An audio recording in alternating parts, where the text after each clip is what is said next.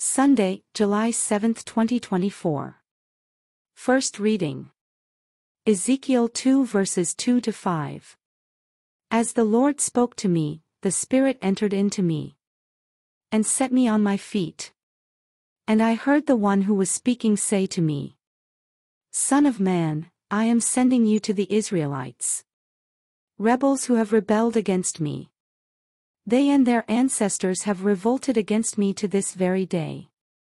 Hard of face and obstinate of heart. Are they to whom I am sending you? But you shall say to them, Thus says the Lord God. And whether they heed or resist, for they are a rebellious house. They shall know that a prophet has been among them. The Word of God. Thanks be to God. Responsorial Psalm. Our eyes are fixed on the Lord, pleading for his mercy. Our eyes are fixed on the Lord, pleading for his mercy. To you I lift up my eyes. Who are enthroned in heaven. As the eyes of servants are on the hands of their masters. Our eyes are fixed on the Lord, pleading for his mercy. As the eyes of a maid are on the hands of her mistress. So are our eyes on the Lord, our God. Till he have pity on us. Our eyes are fixed on the Lord, pleading for his mercy. Have pity on us, O Lord, have pity on us. For we are more than sated with contempt. Our souls are more than sated. With the mockery of the arrogant. With the contempt of the proud. Our eyes are fixed on the Lord, pleading for his mercy. Second reading. 2 Corinthians 12 verses 7 to 10. Brothers and sisters. That I, Paul, might not become too elated. Because of the abundance of the revelations. A thorn in the flesh was given to me, an angel of Satan. To beat me, to keep me from being too elated. Three times I begged the Lord about this, that it might leave me. But he said to me, My grace is sufficient for you. For power is made perfect in weakness. I will rather boast most gladly of my weaknesses. In order that the power of Christ may dwell with me.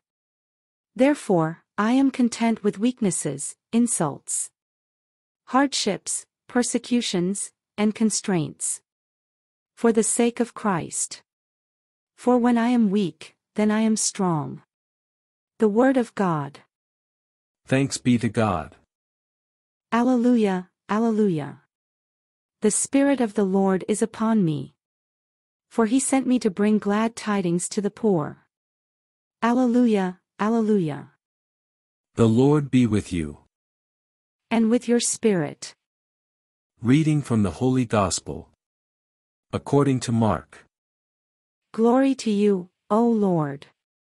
Jesus departed from there and came to his native place, accompanied by his disciples.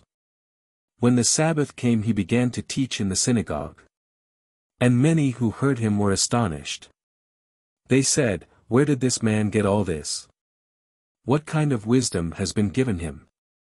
What mighty deeds are wrought by his hands? Is he not the carpenter, the son of Mary? And the brother of James and Joses and Judas and Simon? And are not his sisters here with us? And they took offense at him. Jesus said to them, A prophet is not without honor except in his native place. And among his own kin and in his own house. So he was not able to perform any mighty deed there. Apart from curing a few sick people by laying his hands on them. He was amazed at their lack of faith. The Gospel of the Lord. Praise you Lord Jesus Christ.